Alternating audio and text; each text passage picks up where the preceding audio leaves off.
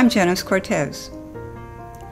Today, let's look at my painting Splash as we demystify some of David Hockney's creative choices. Here's the first mystery to investigate today. What exactly is David Hockney's Paper Pool 18? Is it a drawing? A painting? A collage? Maybe sculpture? There's no easy answer now and the artist had none in 1978 when he completed this mural size, paintless painting. His picture, simultaneously amusing and mysterious in both subject and technique, is composed completely of mounds of colored paper pulp, pressed in 12 separate sheets, which together form one large image. The second mystery is simply why? The choice of such a cumbersome medium seems at first to be at odds with Hockney's gifts. His controlled lyrical line can be so impressively descriptive that the decision to trade that sublime mastery for unruly mounds of wet paper pulp cries out for explanation. The mystery quickly begins to evaporate when we recognize that Hockney's Paper Pool 18 is actually a collaborative effort. Ken Tyler, head of Tyler Graphics Limited, had been asking Hockney for some time to produce limited edition multiples with his workshop staff. And the uncommon medium, handmade paper, was Tyler's suggestion. The image of the swimming pool, a long-time Hockney theme, became their focus when the artist agreed to try Tyler's experimental medium partly because Tyler's own backyard pool was near the workshop and could serve as model.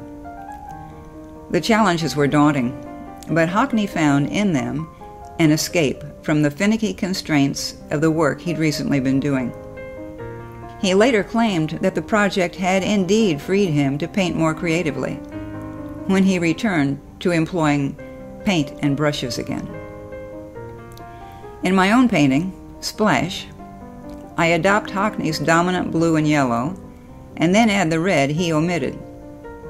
Small notes of green and orange and a hint of violet round out the spectrum, but the primary colors, blue, red, and yellow, retain starring roles.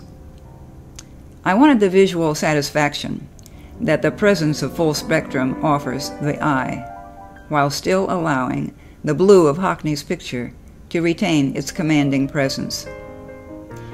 In my search for supporting compositional elements, I found some poetic contrasts to his simple, flat shapes.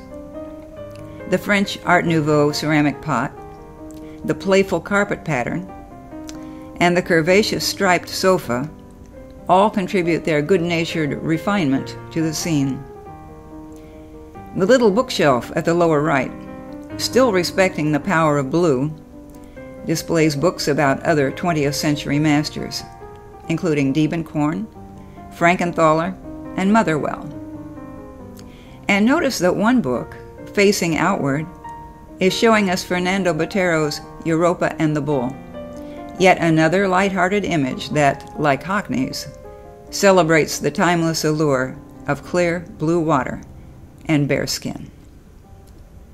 Thank you for joining us. I hope we'll see you again soon. If you enjoyed this episode of Demystifying the Masters with Jenness Cortez, like it, share it, and subscribe to our channel. If you are an art collector planning to enhance your collection, we invite you to view more of the Cortez work at jennesscortez.com.